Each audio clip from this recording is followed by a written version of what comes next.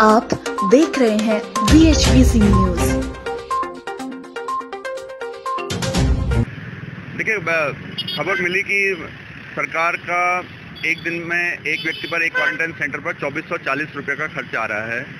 और आप देख रहे हैं कि पूरे प्रदेश में क्वारंटाइन सेंटरों की हालत क्या है? अगर मैं ग्रामीण क्षेत्र की बात करें तो लोग घर से अपना बिस्तरा लेके जा रहे हैं, घर से चारपाई लेके जा रहे हैं। और जो लोग चारपाई लेके नहीं जा पाए तो उनके बच्चों को सांप ने काट दिया।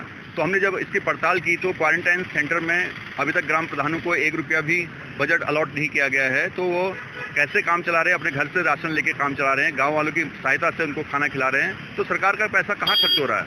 अगर ये चार, चौबीस सौ चालीस रुपये सरकार खर्च कर रही है तो सरकार बताएगी पैसा कहाँ खर्च किया जा रहा है, किस मद में खर्च किया जा रहा है, और मुझे तो साफ़ तौर पर एक बड़ा घोटाला नज़र आ रहा है, क्योंकि लगभग तीन लाख लोग उत्तराखंड में प्रवासी आने वाले हैं और उनको चौदह दिन तक क्वारंटाइन में रहना पड़ेगा।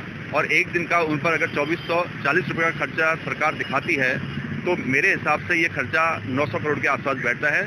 और ये कहीं ना कहीं जो केंद्र से लगभग एक हज़ार करोड़ प्रदेश सरकार को, राज्य सरकार को मिलने वाला है, उसको गबन करने की एक प्लानिंग सरकार द्वारा ये रची जा रही है। इससे हमें सावधान होने की ज़रूरत है। आप देख रहे हैं बी न्यूज़